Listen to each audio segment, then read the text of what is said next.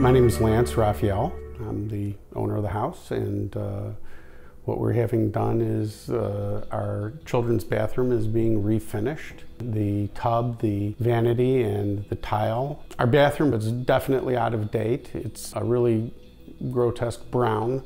And what we're going to have done is in refinishing the tub, it's going to be changed from this gross brown to a nice white and the vanity is going to be refinished to be white and the tile as well as the marble countertop are going to be uh, refinished to be like a slate flint gray. Much more modern, much more up to date, and basically we don't have to do anything other than have them refinish it and it'll be done.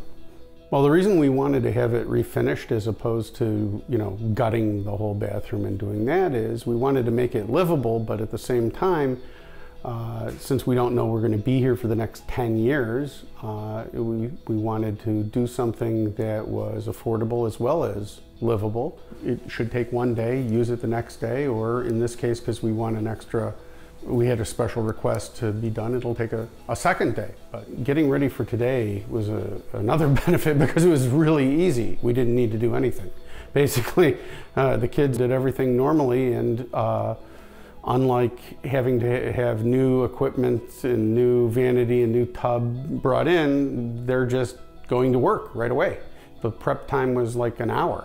Another benefit to having everything refinished as opposed to gutting it is you know everything already fits because it's been there and it's going to be structurally sound and all that's going to happen is you're going to get a new uh, appearance and it's going to look like we did something new without having to go through the trouble of a full gut. NAPCO can connect you with a qualified refinisher in your area. 1-800-888-1081 or napcoltd.com. Start improving your life.